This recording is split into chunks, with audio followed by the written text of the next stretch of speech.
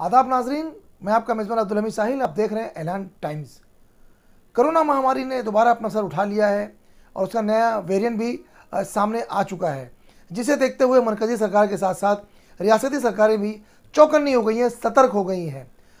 चूँकि हम देख रहे हैं कि स्कूलें भी काफ़ी हद तक खोली जा चुकी थी और, और तलबा और स्टूडेंट जो है स्कूलों की तरफ़ जाने भी लगे थे पढ़ाई भी शुरू हो चुकी थी लेकिन नए वेरिएंट के जो खतरात सामने आए हैं उसे देखते हुए बीएमसी ने नई गाइडलाइन जारी की एक नया नोटिस जारी किया, जिसके तहत चार जनवरी से लेकर 31 जनवरी तक, पहली जमात से लेकर नवीं जमात तक जितनी भी स्कूलें हैं, वो सब के सब मुकम्मल तौर पर बंद कर दी गई हैं। सिर्फ़ ऑनलाइन क्लासेस ही जारी रहेंगे।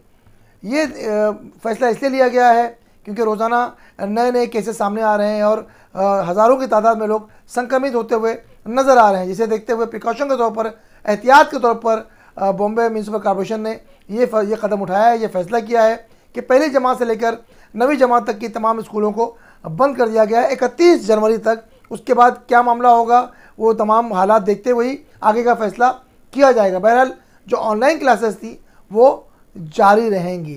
तो हम अपने वीडियो के माध्यम से, अपने चैनल के माध्यम से जो जो ये जो दर्शक देख रहे हैं, उन्हें बता देना चाहते हैं। कि सिर्फ़ बॉम्बे नहीं, बल्कि थाने यानी टीएमसी, थाने म्यूनसिपल कॉरपोरेशन ने भी इस फैसले को अपना लिया है। मुंबई और थाने के आसपास के जितनी भी स्कूलें हैं, वो चार जनवरी से लेकर इकतीस जनवरी तक नव यानी पहली जमात से लेकर नवी जमात तक मुकम्मल तौर पर बंद कर दी गई हैं। सिर्फ़ ऑनलाइन क्लासेस ही जारी रहेंगी। इस तरह की खबरों के लिए और आगे की अपडेट के लिए देखते रहें हमारा चैनल एलान टाइम्स